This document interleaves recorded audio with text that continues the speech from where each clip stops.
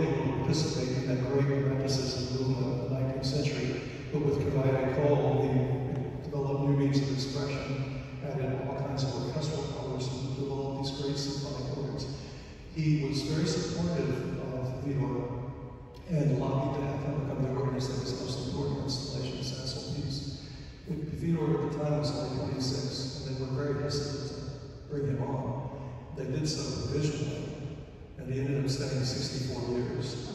The instrument was such a major influence on him that he was so inspired that over the course of the decades, he developed what he called organ symphonies. They're massive works on the scale of an orchestral symphony. And he wrote 10 of these, and the last movement of the symphony number five is the most famous. It was the most famous of his lifetime. And uh, I guess, uh, like any composer, he probably wondered, why, why aren't people playing some of my other music? But again, you know, when you have something that's so beloved around the world, I don't think there's much to complain about. So I hope you enjoy Widor Symphony number